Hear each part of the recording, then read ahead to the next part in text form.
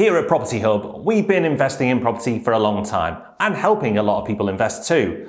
But what would we do if we were going to start again? Well, in this video, we show you. If you got in your time machine, went back to 2006, how would things be different compared to how you actually did do it? So the first thing I would have done is taken advantage of the opportunity that, that played out at the time, which is that you could buy property for little or no money at that point in time. That to me is a, an opportunity missed, I guess, but it's also a disaster avoided because, as we know, 2008 burnt a lot of people. So, to expand on what I would have done, pretty much exactly, I would have hoovered up as many buy lets as possible pre 08 with cash flow in mind, making sure that they covered their costs, which was very difficult then. People were advising you to buy properties with negative cash flow just because the capital growth would, would go up. Sounds crazy, but lots and lots and lots of people were doing it. So I would have avoided that. But if I could make it cash flow neutral and make it work,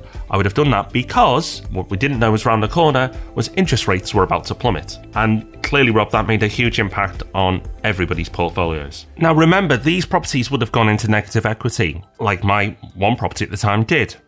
But I've still got it today, and it's and after the interest rates adjustments, it's made a healthy profit ever since. So absolutely no regrets there. The regret, as I say, is I didn't do more aggressively with caution. So making sure I wasn't just buying anything for the sake of it, but anything that covered its costs, buying it because you needed those products to expire before they went on standard variable rates. And then from that point, enjoying a healthy cash flow. And with that cash flow, I would have used it to start buying property. I managed to do one a few years after the crash, and that was in Leeds, and that has done very well since then. But back after the crash, you had to put real money down and put deposits down, much bigger deposits. Managed to do it, but I wasn't in a position that I could buy a few every single year.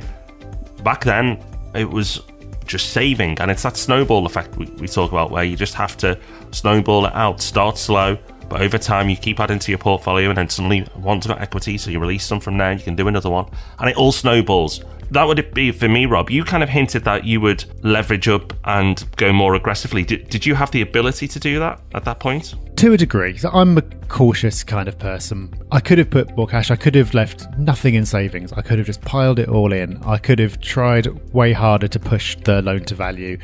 It wouldn't have been enough to buy masses more properties, but another two in London would have made a dramatic difference to my net worth today. Of course, I didn't know that at all. But if I'd been able to see exactly how it would work out, then it would have been a no brainer. One thing I would have done though, have had a clearer plan from the start that was more congruent with what I wanted in the long term. I should have been thinking a lot more about long term growth because I wasn't in a position where I really needed the money then. I wasn't in a position where I wanted to get out of my job and sort of replace my income or anything like that. So, actually, with perfect knowledge, wouldn't have changed a lot, but totally fluked it. And it would have been much better to have a clear plan from the start. And I think that's why I bang on about it so much now, because I didn't. And I think you're so much more likely to succeed if you think about the long term and work back from there. But hindsight is an amazing thing. Uh, as well as that, I think the, the main thing that I would have done would be to buy a lot more around about sort of 2009 10. So, again, I think it's not really having the historical context to realize what uh, an opportunity it was. So, when I was buying properties around 2010, they were very cheap, relatively speaking. There wasn't a lot of competition. No one, no one else was really bidding, and I didn't know enough to know that that was quite unusual. And I wasn't thinking about the property cycle in any way because I didn't even know about it. But had I known, I would have done a lot more. I would have leveraged a lot more. I would have taken more risk and not played it quite so safe. Because looking back, of course, we now know that that was the trough. That was as low as things were going to go get. And over the last six years, things have really kicked on. And that's something that I think we've both kind of touched on. It's the cycle we're looking back, we can see how all this maps onto the cycle. But at the time, we didn't know the cycle existed, so we couldn't really factor that into what we were doing. Exactly. I think that's one of the big lessons from this. And when we look at what we do now, the cycle's going to play a big part of it. So it's fun to look back at the past, especially when you know how the future's going to play out. It's quite easy to say, right, we would have been super aggressive. But now we move forward and go, well, what if we were doing if we were starting right now? It's interesting because we've already been investing. So I think what's certain is we wouldn't go and replicate our exact portfolios that we have now because where we are at the market today is a lot different to where we've been over the last 10 years. We've moved around the cycle, and back when we started, as Rob said, neither of us knew about the cycle. We just thought property was a good thing to do. We've educated ourselves, we've immersed ourselves in this over the last decade, and now we've got better awareness and understanding. So, how we would tackle it today would be very different. So, Rob, what would be your first steps? Okay, well, I've already talked about the plan. I think that's really important. I'd also build a network before doing much else so I could focus on my strengths. But I didn't do that before. I was a, sort of a bit of a lone wolf. And now I'm in the lucky position where, because of the podcast and things, I've got a pretty decent network. So if I didn't have that, I know the value of it. So I'd try to build it up. The next obvious thing to do would be to go, okay, I'm ready to invest. Well, where do I invest? And I think at this point, I'd look to pick a strong area, but I wouldn't worry too much. I wouldn't worry as much as I have done in the past about finding the absolute best area. So, fundamentals, of course, right part of town, of course, but Manchester versus Liverpool versus Leeds versus wherever else, not such a big deal.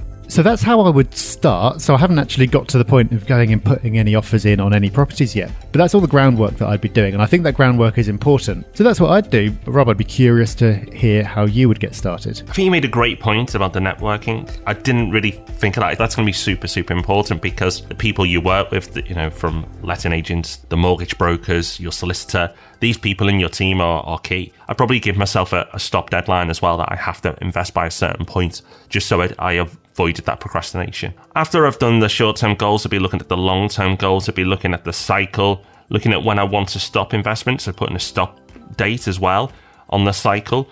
And then I'd target a region similar to yourself. So I wouldn't be like, I must invest in this part now.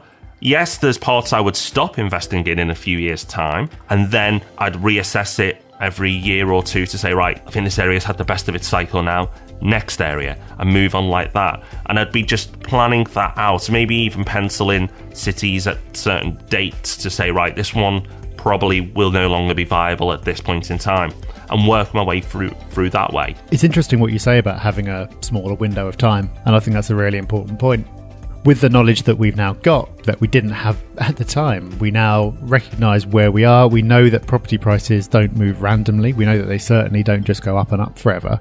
We know that there's a period of time, not don't know exactly when, but when it's just not going to make sense anymore and when there's going to be some kind of crash. So knowing that yeah, it does mean that you you might set more ambitious acquisition targets for the next couple of years than you otherwise would.